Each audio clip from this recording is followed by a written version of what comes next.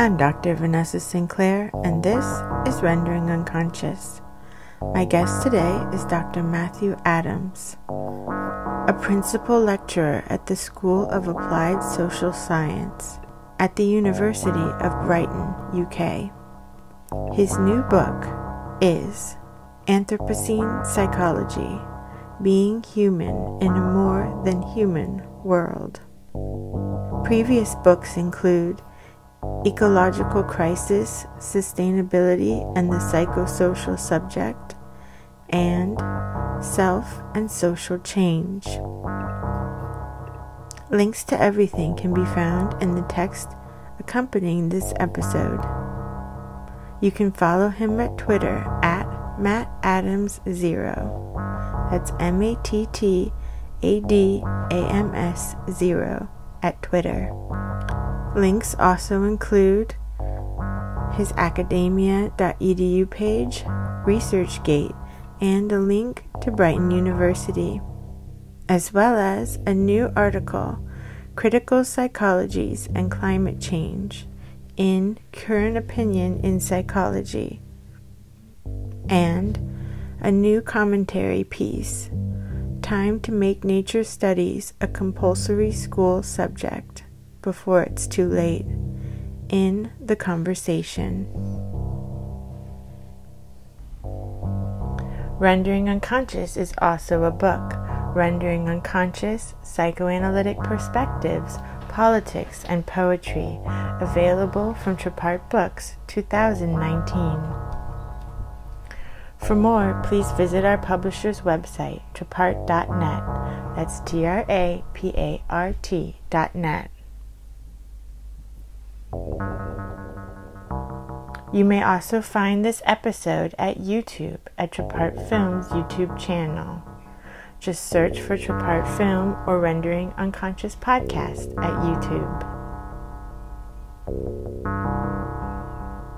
For more information, you can visit my website, drvanessasinclair.net, and sign up for my newsletter on the contact page to stay abreast of all upcoming events. You can also visit the Rendering Unconscious main website, renderingunconscious.org, and follow me at Instagram and Twitter at rawsin underscore. That's R A W S I N underscore. Thank you so much for listening to Rendering Unconscious podcast and for your support. You can support the podcast at our Patreon. That's patreon.com forward slash Vanessa23Carl. Your support is so appreciated. Thank you so much to all of our Patreon patrons.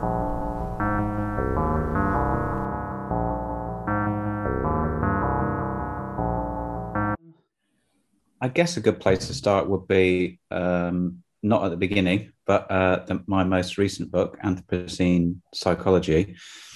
And I don't know whether you or, or your viewers, listeners, would know about this idea, this concept of the Anthropocene, whether we need to say something about that first because it's in the title, you know. Let's say something about it. So, yeah, I mean, as an idea, I've been really taken by it. Uh, it's not been around for that long. It, it, it, around 2000, I think it was first used by, uh, I think it was an atmospheric scientist, but then it was taken up by geologists. Um, and what it basically means is it, it it's used to denote a period in Earth's history. Um, we know about scenes, don't we, when we think about the Holocene, perhaps. Uh, and the Anthropocene, anthropos meaning human. You'll, you can you know where I'm going with this already. The Anthropocene is just this idea that for it's simplest for the first time in the history of this planet, uh, uh and I'm smiling when I say it because it still blows my mind when I think about it. Uh, so that's a 4.54 billion year history, which is is just a phenomenal deep time anyway. But that's roughly what how old geologists think the Earth is.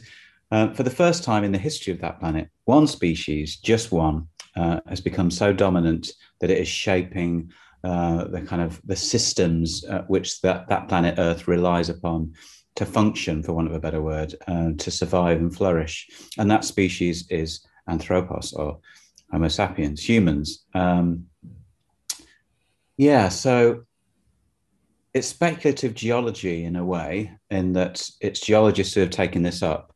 And what they said that's really fascinating is is some far future species that might want to look back, perhaps, we'll see in the sediment of the rocks, just like we do now, maybe only a half inch thick, um, but they'll see evidence of our dominance, and that evidence will be in certain markers. And geologists are still debating it, as they do, whether we can officially call this uh, uh, a scene, the Anthropocene, um, because of the markers that are left. And that's various things like plastic, mm. um, the fallout from uh, nuclear testing from around the 1950s onwards, but lots of debate now about what other things there might be. So, um, bound up in colonial histories, those kinds of impacts.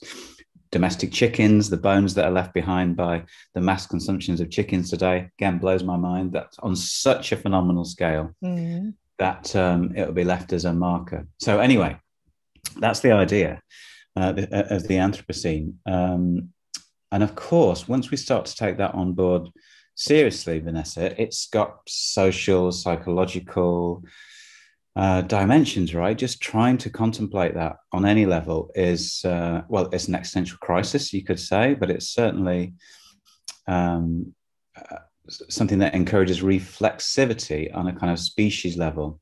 So that's why you get people saying, like, yes, the geologists might not be sure yet, or the atmospheric scientists, exactly what we call this or how far it goes back.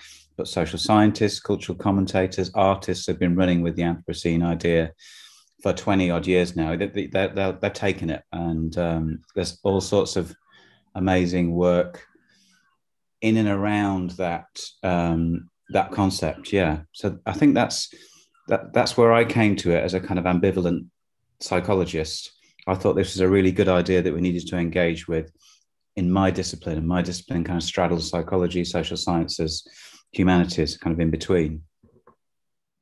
I love that. And I love the sense of awe and like expanse that you exhibit because I really think we we all need more of that because this is like amazing and awe-striking and like horrifying all at the same time but it also shows like what an impact we have had and are having and also i feel like a need that we need to kind of think about it and be more responsible absolutely so uh yeah that's it you, i didn't get to that but that's that's exactly what I'm, I'm thinking about the importance of this concept in some ways it's important in terms of bearing witness to the uh, to what's going down yeah to to uh, another way of framing climate crisis and anthropogenic influences and how we need to sort that out. But also, it's it's it's an invitation, basically. Um, so, so, although we're talking about profound impacts here, we are still talking about, uh, and uh, I love this term borrowed from a deep historian. We're talking about a parenthesis of infinitesimal brevity when we think about the Anthropocene. Um, so, in the scale of things, you're absolutely right. It's about awe. In deep time, whatever we do, then uh, we, we, are nothing basically, mm. um, in terms of a species. But at the same time, we're having a massive, uh, uh, unbelievable impact on other forms of life. So I see it as an invitation to start to engage with that sense of interdependence and interrelationality we have with other forms of life and other species. It, it, it, for me, the Anthropocene isn't about hubris, about look how amazing we are. We now can name a scene after us. No, it's the opposite of that. It's look at the impact we are having we need to step back and think about um, those interconnections, that interdependencies, as you said, with a sense of awe and wonder. Anthropocene psychology. exactly. Yeah. So, yeah, there's something about psychology uh, historically. I don't know if it's because it kind of ended up on the coattails of um, uh, um, the natural sciences and kind of went for that status but it tends to be slower in picking up what I think anyway. I think it tends to be slower often in picking up some of the more radical developments in social sciences and humanities and different ways of thinking, sometimes more resistant, sometimes ignoring them. Um, and not always there's critical psychology and, and trans-species psychology and all sorts of psychology on the margins but the, for me the interesting work tends to happen on the margins so i suppose in the book what i did was um, i'd been reading lots of work from feminist, political ecology, post humanities, and increasingly indigenous scholarship that again was blowing my mind in terms of running with the Anthropocene idea, sometimes explicitly, sometimes I thought it was implicit in what was being written. And when I say running with the idea, I mean, I suppose what, what at the heart of it is about extending a relational ontology. So it's extending the idea that who we are and what we are is always forever shaped by, uh, constituted by our relationships with others. And actually, I, I noticed that I'd written, been writing about that for a long time, most of my career, but I've been doing it in terms of people only. So, thinking about development through theories like object relations theory, of course, or, or interactionism, about how we come to be is shaped by these processes fundamentally, a relational ontology. But what I was fascinated about this work, what, what it shared was this emphasis on how we are and who, how we come to be as a species, as a human subjectivity is shaped by our relationships, not just with other humans, but with other life forms, and the same for them. And it's this real depth of a sense of interdependency at the heart of Anthropocene idea, which for me is really appealing, which, as you would probably guess if you never heard of it, feminist scholarship, environmental humanities has really been at the forefront of developing. Um, and yeah, post humanities scholarship is, is one place where that's really happened. And there's an interesting tension there between a kind of always already existing indigenous approach which is already enlivened by this relational ontology and animism. Uh, and I say tension because there's tension around there about Western scholars discovering some of this indigenous scholarship when it's ongoing already. Would you talk a little bit more about post humanities and just post humans? Because I don't think a lot of people know about that either. Yeah, and I'm certainly not an expert. I've kind of cherry picked the, the bits that I, want. So, uh, uh in a broader sense, um, it's about not about after humans so much, but it's a bit like post-modernity, and it's like thinking about different ways of engaging with what it means to be human. So if we think about the humanities, forget the post for a minute, and the history of humanities, then what they're basically about is about human culture, human relationships, different human cultures, say uh, uh, as well. But it's a focus on the human and the uh, uh anthropocentric, right, by definition. And the post humanities is about saying, in one sense, it's about saying, okay, now we're turning to animals, other species, other forms of life, recognizing animal sentience, animal histories, and, and the interdependence and intersection of human animal worlds. We need something more than the humanities, or we need to think about bringing into the humanities our relationships with other species. And we need new theories to do that. We need new methods to do that. We need new ethics to do that, uh, to look at the animal side or, or multi species relations. And so it's about uh, kind of revisiting all those theories and perspectives in the humanities to do that. There's another side to the post humanities, which is more about human engagements with kind of technology um, and the non-human in that sense and how that shapes and defines us and changes us which is that's the kind of side i've left uh, um, to one side and i'm focused on the kind of um, non-human in in terms of other species and other forms of life. But but that's that's kind of where it, a post-human movement is coming from feels a lot like the time of copernicus like when we realize we're not the center of the universe but like on another level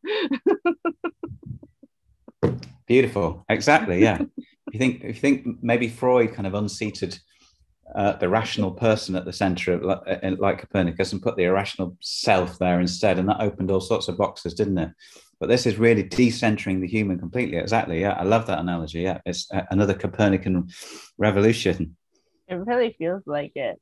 It's something that um that I heard Greta say the other day. I think she was at some talk but um, she was talking about how uh, in you know in general people feel like you know we can't really do anything to change things on a global level and it's just kind of playing out and everything I, a lot of people feel kind of like everything's kind of on its way already um, but she pointed out that we all, we did like shut everything down for coronavirus and like everything really halted you know enough to kind of help halt that disaster so that if we really all work together to like halt things again and really treat like the climate crisis as a the emergency that it is, that we could actually make a change. I hadn't had hope until I heard her say that. yeah. Yeah. If you, if you're around this kind of stuff and you well if you if you got your eyes open you could say then uh, an ambivalent relationship with hope uh, or, yeah, or, or, what hope is is it, yeah it, it's tough isn't it? I was reading something the other day about um, hopeless activism which i found really interesting which was uh, about kind of where what happens when you give up hope but you've gone through kind of despondency you know then then what and i feel a bit like that just because i've been in i've just been engaging with this material for so long you know but um, you know, back to Gramsci, wasn't it? Who said something like, you know, um, uh, pessimism of the intellect, optimism of the will. So you, you know, we have to recognise that things are in a really precarious situation, and there's lots of obstacles, um, powerful obstacles to changing those kinds of things. But yeah, you're right. There are there are there are, there are historical precedents, and there's a very recent one for showing us what we can do, or the level of change that there can be if we work together. And um, I, I, would say that in the concepts of COVID, what, what's really interesting about that is zoonosis, so the kind of transmission of disease from humans to animals to humans and back again, is at the heart of it potentially. Uh, and even if it turned out not to be, there's something about the really close proximity of humans and other species that defines how we live today and is part of the problem, isn't it? And we need to revisit and rethink that um, for sure uh, going forward. But yeah, so I think for me, it's always important to search for hope. Um, in the previous book that I published in 2016, I stole a concept of narrative foreclosure from gerontology, from aging studies. And it was a concept used to describe how in, a malaise in later life for older people sometimes, where they feel like it's too late to story their own life it's too late to live meaningfully, to have narratives, narrative foreclosure. And I took that and applied it to the kind of dominant narratives we have around climate crisis. And this is before I'd really engaged with the Anthropocene. This sense that that I feel often in everyday life that we don't really have the kind of alternative stories ready or available um, to help us navigate beyond climate crisis. We kind of have apocalyptic narratives, everything's going to end. We kind of have, don't worry, just carry on as normal and maybe recycle a bit more, which obviously don't match up with the scale of the crisis. And in between that, it just seems to be business as usual. There's a sense of narrative foreclosure. So, what again appeals to me about the Anthropocene potentially is like you were saying earlier, it's a really exciting story in a way, or a way of narrating our relationship to the world, um, potentially anyway, that could be really productive. Yeah. Um, yeah, I definitely have an ambivalent relationship with hope also. And what I finally came to after my period of depression was that uh, I get, you know, we're still living so while I'm living, I'll just try to do my best, at least in my corner of the world and like my own situation. So look, like you know, my husband and I just like moved to the countryside, and now we've like we're starting a garden, and we're gonna start taking like beekeeping classes and like you know learn how to keep bees. And we got a little insect hotel, and I know it's like very small, but at least it feels like more like we're doing something. We don't have a car. We take trains. You know, we have to go places and ride our bikes or walk, and so it feels like at least um, we can do that. Most mostly vegan. I was told by a vegan that I can't say I'm vegan if I'm not 100% vegan, so I'm mostly vegan. that, you know? that, ve- that vegan is wrong. You can call yourself whatever you like, Vanessa. she, she yelled at me. but I mostly I mostly eat vegan. Um, so at least I feel like yeah, even if you can't do it all the way for everything, like doing what you can or doing a percentage of something still helps. yeah. Yeah, I feel the same. Or even if it doesn't help in some big scale of things, then it helps it helps us and the people around you to feel like you're trying to live more ethically. We don't have to be grand about that, but it feels like the right thing to do. So we're attached to it, right? I was I'm on a uh, one mailing list where someone sent around something about um, a, a, writer who'd been around for a long time writing about this stuff, and it was quite a short piece. And he just said, "Don't bother. It's too late." Basically, and some some facts on climate crisis. We failed, and uh, you know, re- it really did get me down for a, a, a day or two. Uh, in amongst it, you know, once you're reminded, sometimes it, it, can take you that way. But then it was really interesting to see some of the other posts that were quite cross with this person uh, saying this is basically a kind of privileged position for someone who might not have caring responsibilities or um, c- can kind of say that but then carry on their own life. Whereas there's a lot more there's a lot of affect and emotion around these kinds of statements. And actually we need hope on a level of everyday care and who or what we're responsible for just to keep going and we are keeping going in that space you know uh, so yeah no i think that sounds sounds like uh, you're doing something meaningful and engaging in your everyday life, right? Which is what else can we do? Reminds me of what was it? A book I read when I was young. Voltaire's Candide, right? He went through this horrible life, awful life, and at the end, what does he do to, uh, after after all the torture and ruin he'd been through? He, he started a garden. He tended a garden, and that was about all he could do. But that was okay. This this this is where I am, and this is the difference I can make gardens really help. I love our garden. We've only had it for what six weeks now.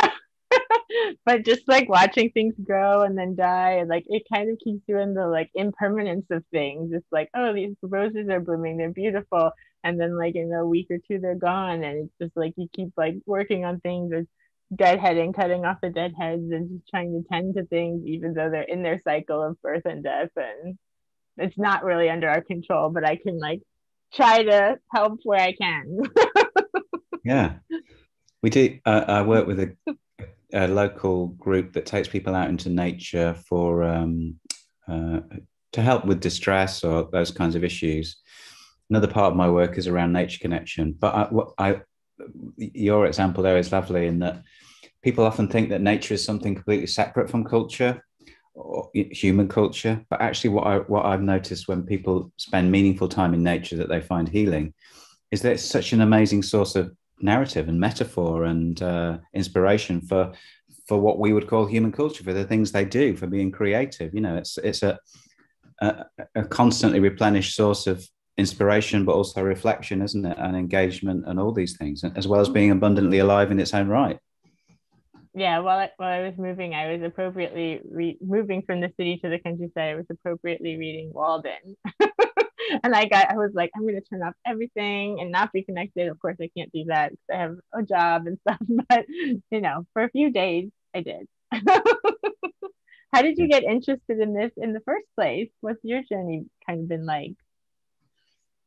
Um, that's a good question. I think uh, I was a, I was a first generation university student um, in my family. Um, and when I went away, I lived in a kind of, I suppose you'd now call it a post industrial town in the north of England, um, pretty grim. But when I moved away, only to the kind of Midlands in, in the UK to study, I was on the edge of the Peak District, which is a beautiful national park in um, the UK. And um, I had a radical education at university, what it turned out to be. Uh, it was an early 90s kind of course which blended Marxism and psychoanalysis and uh, critical theory. And uh, again, it blew my mind. But at the same time, I was also spending a lot of time with friends in the countryside for the first time in my life. And um, I really developed a sense of deep sense of attachment to that place and being outside, being with others outside. Um, that time too. And, I think in my as I became an academic myself, although it was dormant for a while, that's that the learning I did then and being in nature kind of fused somehow.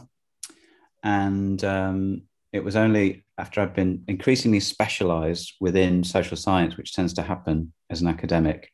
I was focusing on identity theories, relational ontology, but focusing in more and more and more. When um, I had a moment where I went to a lecture, uh, sorry, a conference, and it was a one of my old lecturers was giving a lecture on um, nature, capitalism, and the psyche, I think, and I, would forgotten about him and this course.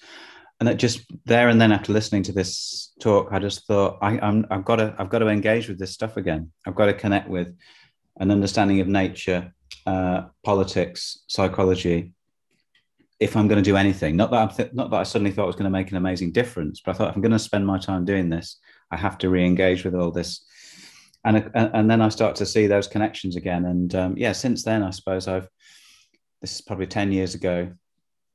I've just focused much more, well, exclusively on our relationships with the non-human. Yeah, there's so many books on like capitalism and psychology, capitalism psychoanalysis, politics psychoanalysis, but not with nature included in. And that now that we're talking about it, it's really kind of mind-boggling. It's like how how how did humans develop in the first place that we feel so disconnected from our environment and to the point where we were like destroying it? Like most animals don't destroy their habitat.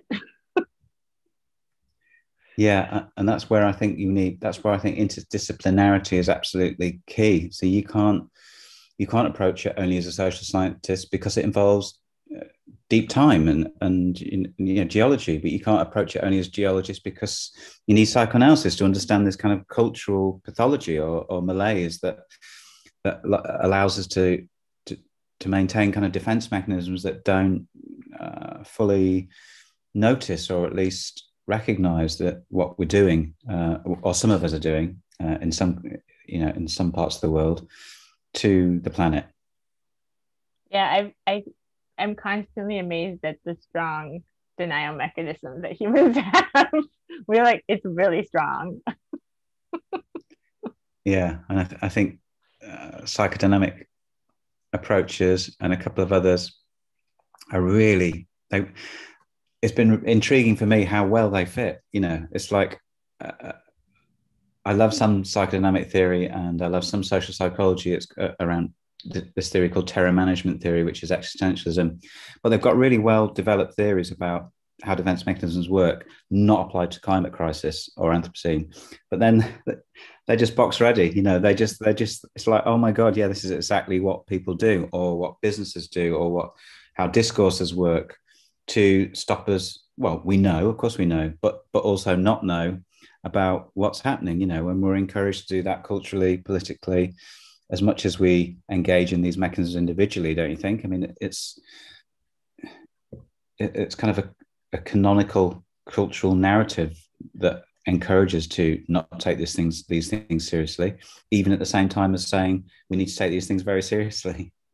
No absolutely and i can't help but see culture and politics and, and humanity as like a large scale uh, human mind because like in psychoanalytic training they taught us like over and over again you can't apply these principles of like individuals to society and like you can't apply this to politics and i was like okay okay i just took that in because that's what the teachers were saying and then I got a little older and I was like, what are you talking about? Like, this is so clearly like similar. Like, it's us still, why would we not do that? It just it makes no sense to me to not do that. It seems so clear. Yeah. So, so, one of my one of the earliest people I came across undergraduate degree actually I think was Christopher Lasch and um, his take on kind of narcissism as a cultural pathology, which now we can now I, I probably have various problems with, but you know again I was um, totally bowled over by this the use of psychoanalysis, psychoanalytic theory to what, what felt like at the time to really nail what was going on in broader kind of capitalist culture, but not out there, as you said, kind of in terms of how we end up making sense of ourselves as well. Mm-hmm. Uh, and critical, of course, you know, the Frankfurt School and uh, we were another group I learned about way back then, who had also kind of taken psychoanalytic theory and really thought it was a useful tool, didn't they, for making sense of what they were discovering as the nature of capitalism in America. Yeah, exactly. And I think Freud, I mean, Freud was applying things to society too. So I don't know where it happened along the way that it became something not to do. Maybe because of World War II and people not wanting to be political because you could you could get you killed, but I'm not sure. Yeah, I don't know enough about Freud. I know about things like civilization and its discontents. But yeah, that's interesting. So you think that that was there, it was there to be taken on, but it, it was kind of neglected until or, or marginalized um, aspect of his work. Yeah, I think so. And I think it's coming back up uh, again recently because in the beginning, Freud, somebody wrote a book about um, Freud's free clinics a few years back and had originally imagined kind of psychoanalysis for all and like wanting to set up these kind of clinics where people could get psychoanalysis for free. Um, so he initially had like this idea for it to be something to help the greater community, and then it just kind of became more narrow and narrow and narrow over time. Mm. Yeah, certainly not what that's fascinating. That's not what I associate with Freud as this kind of more ideal, like I don't know, like Laing or anti-psychiatry, you know, that uh, that kind of model. But yeah, I never knew. Mm-hmm. I know. I think it had been hidden, and I think also a lot of, at least in the states, you know, a lot of people who had to flee to the states because of World War II were being becoming, you know, political prisoners or being killed. So I think maybe uh, maybe it kind of became part of the psychoanalytic culture to like avoid those topics to kind of keep yourself and you know try to stay out of harm's way maybe. Mm. Yeah. So what else are you working on? Um, yeah, so uh, I guess there are a few kind of offshoots from the book. I'm kind of I want to carry on working on Anthropocene psychology ideas. So in the in the book, I took a, a number of little stories, I suppose, to start off each chapter, and um, as is often the case with me, I, I, I get carried away by my inclinations rather than any expertise. But um, probably most of those chapters, I've got projects that I'm kind of starting to spin the plate on, or trying to keep the plate spinning now. So uh, the first chapter in the book I focus on uh, you've heard of Ivan Pavlov, uh, the Russian physiologist turned psychologist, right? And uh, everyone knows he experimented with dogs, don't they? More or less, I think. Mm-hmm. And the kind of stimulus response experiments and um, salivating to a bell, or you know, what, what, kind of resonates in popular culture. But for this, for that first chapter, what I intended to do was just say, right, come on, psychologists, you can engage with uh, post humanities and so on. And I'm going to use this case study. What do you know about Pavlov's dogs? Uh, same as me, probably what we learned from textbooks and so on. They were kind of docile objects, interchangeable things. We don't really need to pay much attention to them as things. It's more about them as proxies for human learning or you know the, the, the start of behaviorism as a, a, a, as a perspective anyway i didn't dig very far i was just going to look at a few examples of experimental animals in psychology as a way to think about human animal relations in a slightly different way rather than just as uh, scientific observers of things but the, as soon as i started to dig into pavlov's life it was just like oh my god what why do we not know about any of this for a start his life his life itself is unbelievable i mean he was he was persecuted um, by uh, uh, uh, Stalin's regime, but he was an anti semite himself. He was an authoritarian, all sorts. But also his dogs. Thousands and thousands of dogs passed through his experimental laboratories. Um, so uh, they 50 plus year career. And what he did to those dogs was sometimes barbaric, right? So there's a story there. And part of that story is, isn't this horrific? Psychologists, we need to face up to our past and acknowledge this as part of our uh, traditions. But much, so much more than that as well, Vanessa, I was finding. He also loved his dogs and cared for them. They were given names. Um, I found a list of names and put that into a, paper. So I'm trying to collect as many names as I can. Um, they had lives, you know, of course. The relationships with the experimenters were really complex because they grew attached to them. Um, and also, another really interesting facet for me is that lots of results were hidden because the dogs were actually really lively characters uh, who didn't respond to experiments in the way that we think. There were no hard set laws um, because they were just too unpredictable uh, and individual characters. And that was hidden at the time and it still is. So anyway, I've written about this to some extent already. What I, what I really want to do is develop. Um, anyway, I want to develop my work with artists and work with artists. We were talking earlier, weren't we, about kind of hope, and um, for me, it's partly about keeping myself uh, engaged in projects um, that are meaningful. And I love the idea of taking Pavlov's laboratories as places. Now I know something about them, and turning them into a kind of diorama, like a uh, a, a, small miniature scale models, and and really open them up, the interiors and the exteriors, as a, a art installation.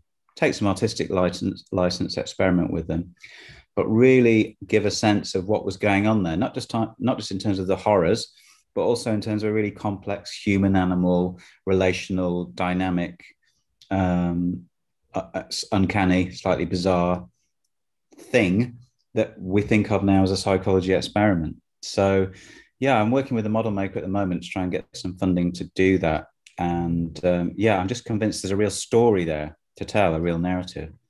So that's something i really want to develop and as i say that just comes out the first chapter of the book so um, is trying to find ways to creatively engage with this relational ontology I'm talking about, you know, to unpack something like animal experimentation as actually a, a really complex relation between different sentient beings. I love that. And I love that you're turning towards the arts. And I remember when I first learned that, like, when they say, like, oh, he, the dog's salivated with the bell or whatever, but like really he was like drilling holes into their jaw or something to collect the saliva. It wasn't like like they just noticed the dog salivating. like a little more uh, real than that. And I feel like I feel like so much of what we know are these like little memes, you know, of like th- these huge stories and these things that are really complex and interesting. Like wh- where we've moved to is the the town where the woman Astrid Lindgren who wrote Pippi Longstocking is from. And so oh, yeah like Pippi Longstocking and there's like Pippi Long Astrid Lindgren's World down the street and things like that. It's really cute, like storybook town. Um, but I recently got her war journals and um, she was like she worked in an office. It was a housewife. She had two children. She never thought of being an author. And she was in Sweden, like seeing the World War II, you know, starting to happen around her. And they're like from 1939 1945 or something. And after a few years of like like watching witnessing this kind of devastation grow more and more. She started making up these stories to tell to her children as bedtime stories and that's where pippi longstocking came from. But it's like nobody knows that you know? It's like oh pippi longstocking is so cute. But like whenever you look into anything there's like such a deeper story to it than than we realize. Everything's just been turned into these like cute little packages that people just ingest but we don't really know where it comes from. Yeah I, I, used to read Karlsson on the Roof, the Klaus books to my kids by um, her. Yeah, I never knew anything about her, but I thought she was brilliant writer. She's really great. Yeah, I can't believe you're there. We almost, in fact, we considered at one point they were so into the books. My two, two daughters, two two youngest, that uh, we actually considered visiting a museum. There is a museum there, right? That's dedicated to her. I think, right? Yep. They have a childhood home as a museum and they have Pippi Longstocking or Astrid Lindgren's World. And the funny thing is, is they have like a whole miniature of the old town of the town, like in the Pippi Longstocking world. That's what I call no. it, Astrid Lindgren's World. Um, and in, and our house is in the old town, and so there's like a little miniature house of ours, which is no way. It's really weird. Yeah, we have a we have there's a our house has like a little cottage um, and it's rented out to two guys who are actors in Astrid Lindgren's world. And so when we first moved here, like literally the day after, they were having the dress rehearsal because it's basically all of her stories. It's like basically musical theater. So it's an outdoor theme park, but it's not like Disney where there's like rides. Instead, it's like musical theater scenes.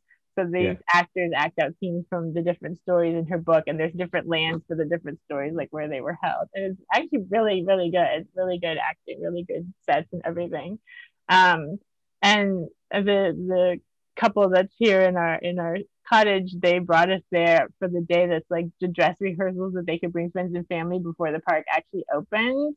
Um, so we got to go and see everything like with no one else there and they were like, "Oh, you have to come and see your house," and we were like, "What?" and then like they walked us into the little town, and there's like this little house that's our house, but not because apparently it's from a story. There's Emil of Lönneberga, and uh, Emil like gets on a horse. He's like a mischievous kid, and he gets on a horse and like rides into the mayor's house and like crashes their, his dinner party, and like all the food flies everywhere, and a pie goes in the mayor's face, like like that. And apparently that scene took place like in our house.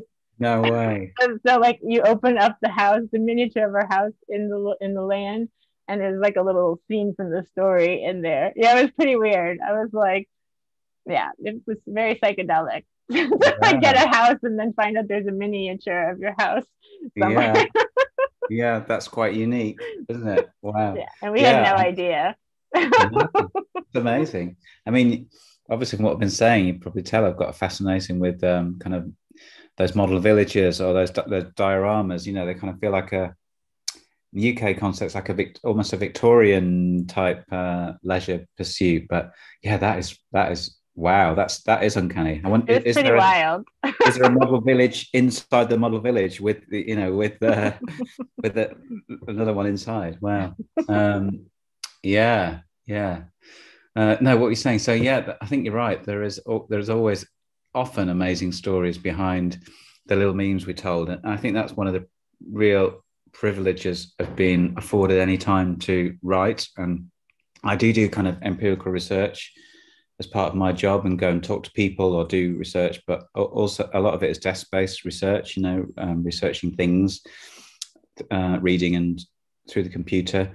And yeah, one of the, the great privileges is having the time to discover the stories behind like I say, I follow my uh, luckiness to be able to follow my inclination a lot. The stories behind the post humanities and a few cases within there, and then you dig deep, and it's like, wow, you know. Uh, and then it's about your ability to tell that story or or engage with it uh, that you worry about. Once you know there's a story there, that's just like, yes, great.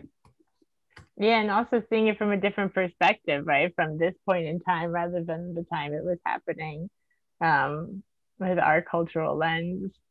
Yeah, yeah, and that can be, uh, a, as a writer and researcher, that's really affirming in a way, isn't it? Because these things in the abstract, psycho, yeah, human animal relations really matter. We need to address these. We tend to ignore um, animals or not pay attention to their uh, inner lives or their reality. Okay, fair enough in the abstract. And you find a story like this, like you said, receive wisdom is, and it's like, oh my god, this is this actually is true because it, it really resonates. And when you can attach it to a specific case study, and uh, there is an accepted veneer or I should say a meme about what these dogs did or what their lives were about, what their role was.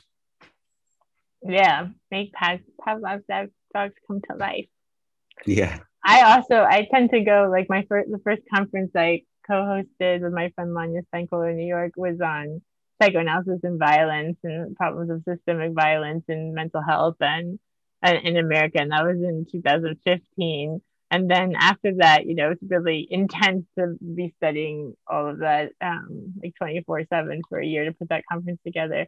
And so then after that, all I wanted to do was like make art and do art. So then after that, I made that conference on psychoanalysis and art and magic. I was like, I, I'm just gonna have fun. But it also I, uh, that also happened because I felt like after having this whole conference, that's something that I was really like I had been working in the American hospital system and just seeing how horribly my patients were treated. And when I left, I was really like wanted to show people like what was going on. So I was like, trying to make this big event, like to kind of show analysts what was going on. And then I realized like all the analysts that come to conferences are like academics and people in their offices on the Upper East Side that haven't seen uh, the kind of horrors of the hospital system in, in certain ways and I just felt like I was like talking to a wall. Like I didn't feel like it went anywhere. Everyone was just like, "Oh, okay, that's interesting," and like hmm. nodding. And I was like, "This is this isn't helping."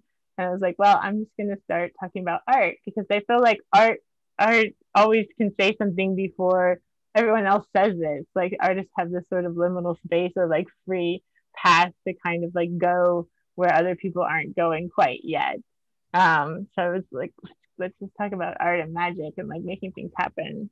Yeah, I totally agree. I mean, that's yeah, I totally agree. It really resonates with me, especially presenting some of this stuff at psychology conferences or even social psychology conferences.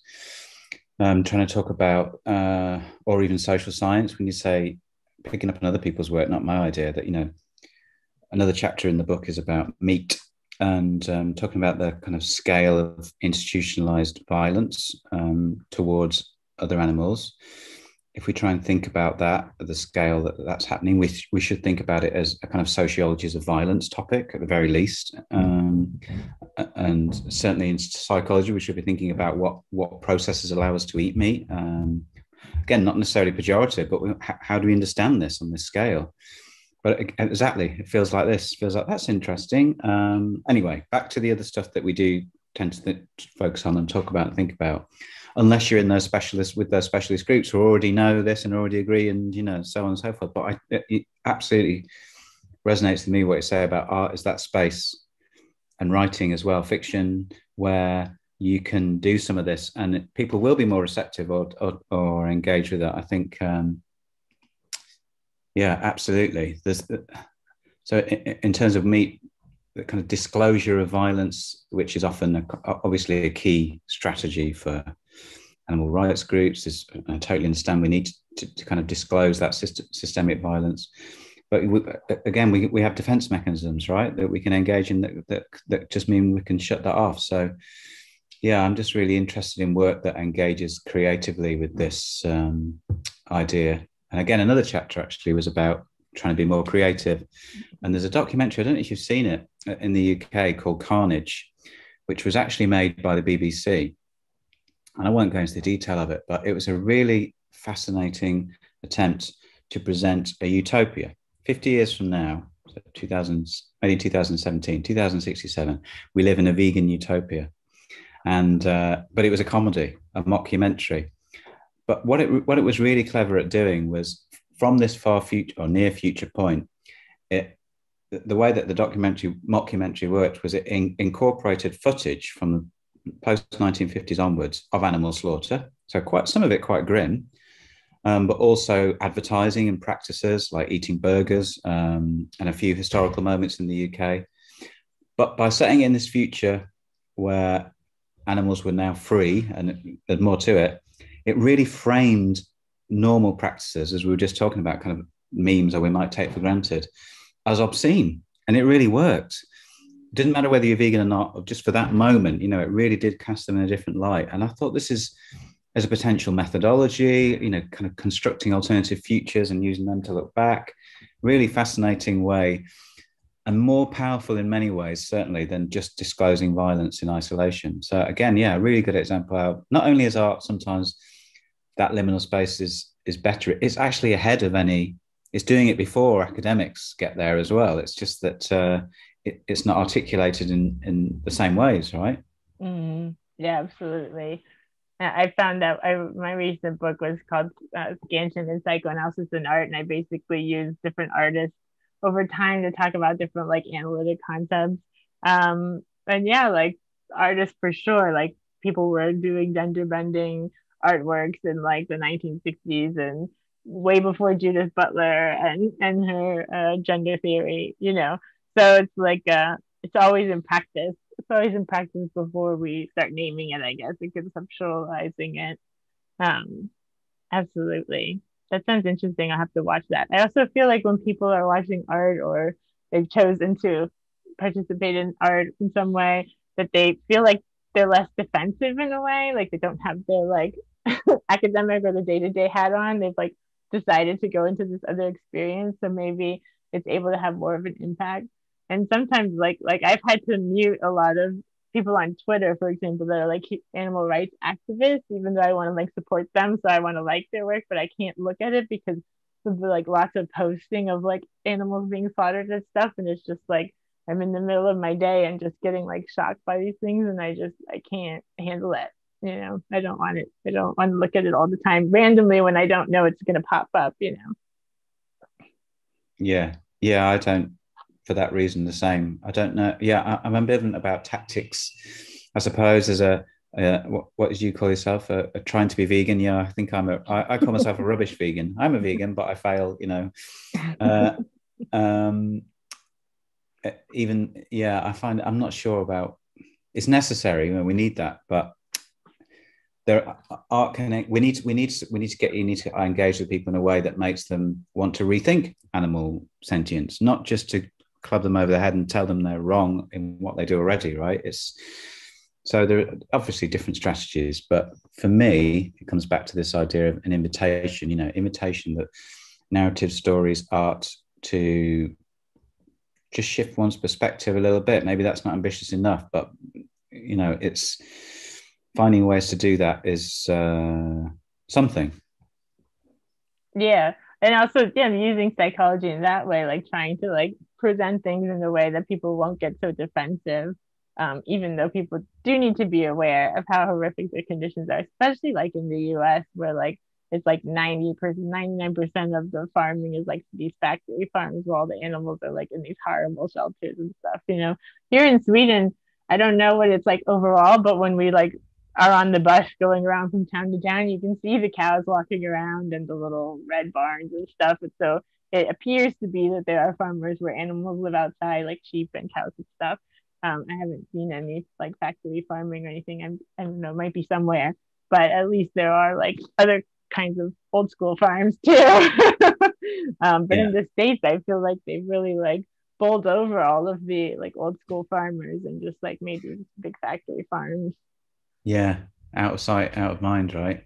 Yeah, I, I, I, one of my heroes in recent years has been Donna Haraway. Her writing, um, a kind of feminist philosopher, but she's also really engaged with the kind of animal turn and post humanities but she's got a really interesting take on veganism and um, which some vegan activists really disagree with um, which is that we cannot she cannot fully embrace ethical veganism i think i might be doing a position disservice here but she says that fundamentally our relationship to other animals we have to acknowledge that it might involve killing.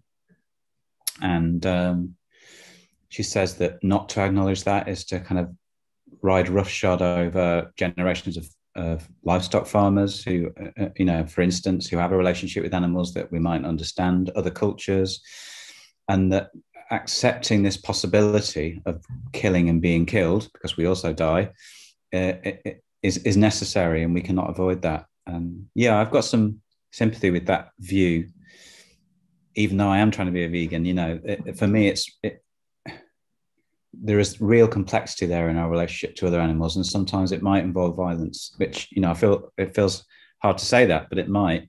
Whereas I've, for me, there's absolutely I've got no problem with saying factory farming is just wrong. You know, I mean, it's just that the treatment of animals in that context is um, indefensible, and um, that's where our meat comes from. So, you know, it's a no-brainer in that sense, and not just meat, but byproducts.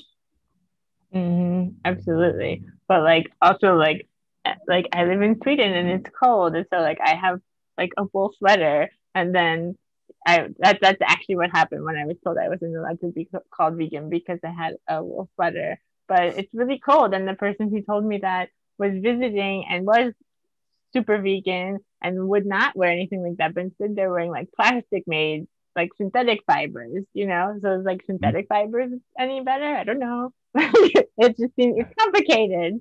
exactly. Yeah. And you have to find your own way without being harsh with others, you know, I think for me anyway, because um, you know that, that that that's just the way it is. You can't avoid it anyway. And if you start thinking you can, then you're gonna then you're then yeah, you can't. Whenever I tell people I'm vegan now, which of course is what vegans always do, then uh, uh, what I've noticed is really interesting is what the, the first thing they often do is tell you how little meat they eat or when they do or don't eat meat, which I find, again, not just mental, is really interesting. I think everyone wants to find some kind of balance and becoming aware of these issues and, you know, uh, uh, and shares the same values to some extent. It's just, there's, it's just so complicated, you know, and there are so many, so many practices bound up in meat eating in our culture and so on that it's not just about an individual saying, I'm not going to do any of this anymore. You can't opt out that easily.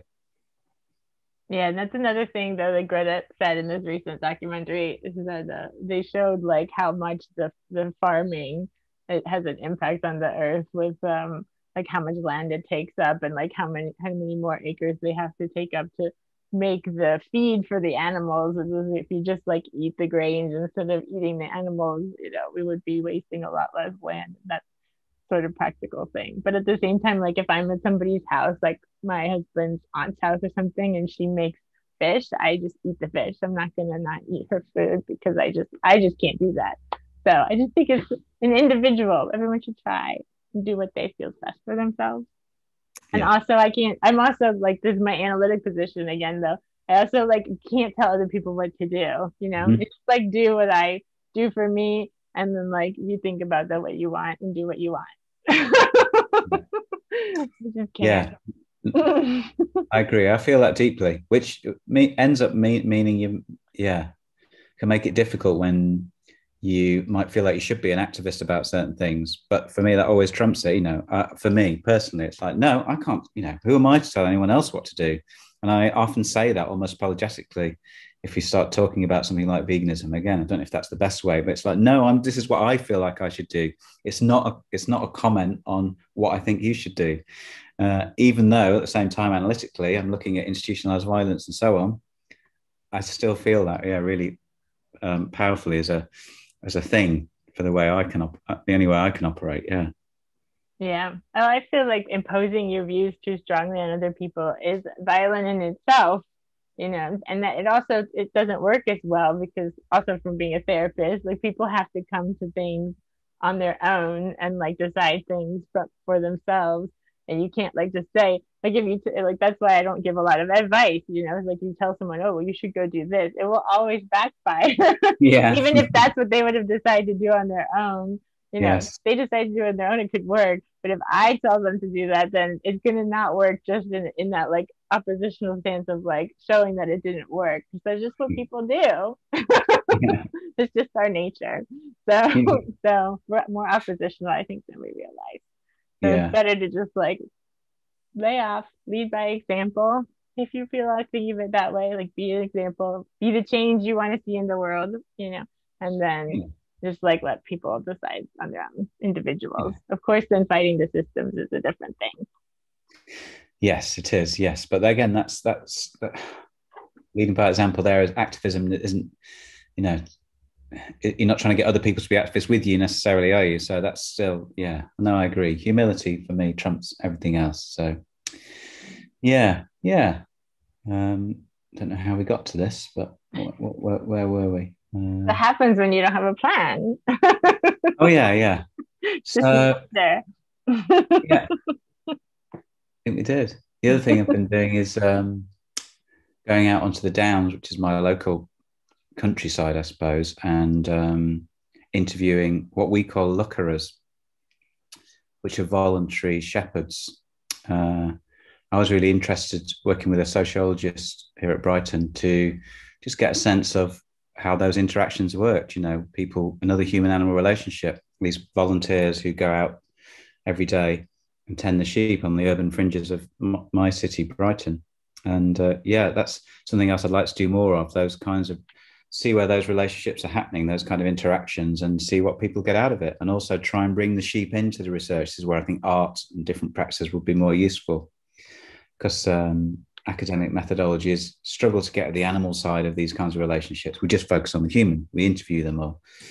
Um, so we need kind of sheep scientists or and artists or others to to uh, to get involved. But yeah, I'm really interested to see how people's perspectives change, if at all, when they have this kind of routine contact, which we're regularly denied with sometimes the animals we eat or the animals that are in our culture represented in particular ways. So again, I've written about this already, but this is something I'd like to develop more. Gets me allows me to be outside while I do research as well, which I always like. which is really nice. And we'll link to all these things um, so that people can find them, find your books, and find your work. Um, Thanks. Is there anything else that you wanted to be sure to mention before we wrap up?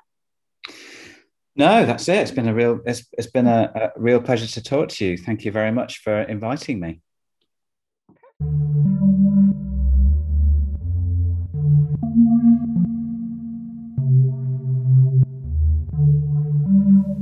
Thank you for listening to Rendering Unconscious. You've just heard a discussion with Dr. Matt Adams. Check out his book, Anthropocene Psychology Being Human in a More Than Human World, from Routledge 2020. Links to his books and articles can be found in the text accompanying this episode. You can follow him at Twitter at MattAdams0.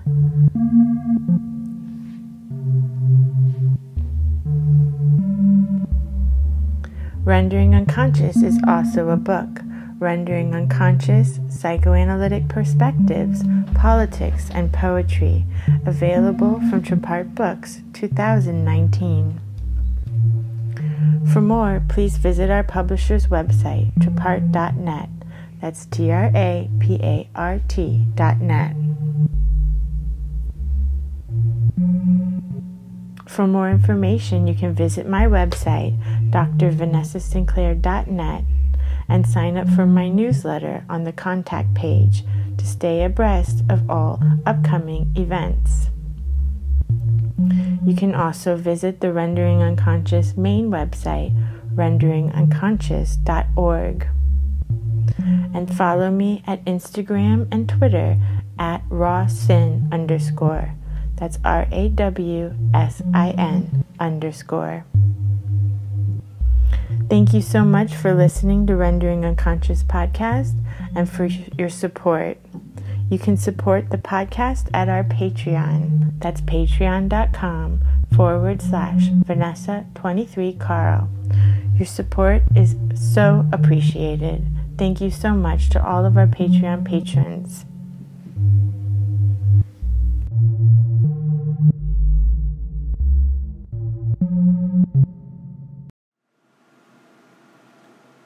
Waiting, waiting, waiting.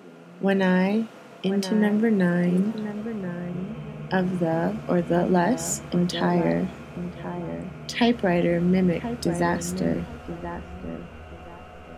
Opening chapter. Opening chapter. The writing machine, uh, like those of a do it yourself, fear of restrooms, is to life. Head slightly. He is. In the past, the senses. was the tear vile, perception as the painter's technique, in his powers, swinging back society to close, with save. Satan glued into your, I dare you, into me, I know you, joint efforts, pray originally ground almost signal backwards on my idea of regression. of brainstorming. In his powers.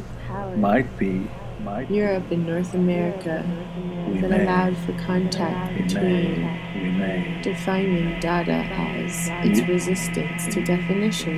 New dimension. Might be. We may. Gambling scenes. But it is new dimension light gambling my, scenes light my fire. Unconsciously after all forces one as discussed just smart.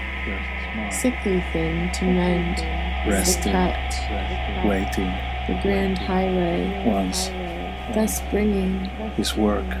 The datas allowed for opening chapter constant internal observations and head slightly waiting provided and their intersection new forms the particles relationships in 1913 to sound despite that led sight and then he would turn his the daughter. the data is allowed for organism. in dreams I talk with you. Sexuality. In your dreams last physical level the into constant internal. With all the tentacles. Observations the people who particles. The daughter.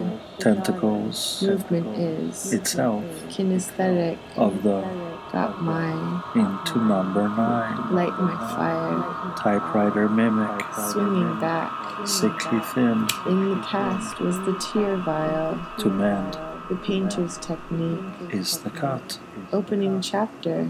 Unconsciously. Organism from the every level inherit business of life. Sexuality and computed thus when I into number nine of the less the entire the inherent nature of words. disaster Has discussed. Close cut up's forces. Safe is the cut. I dare you. Sickly thin I know you. Against the rock. Clarifies their formal fade out. debate as to the exact Now is blessed. backwards on my idea of regression. He would turn his in his powers. in dreams. pray. I talk with you. almost. In your dreams last. into me The into. joint efforts And then, new dimension despite Vanessa but there is uh, there is uh,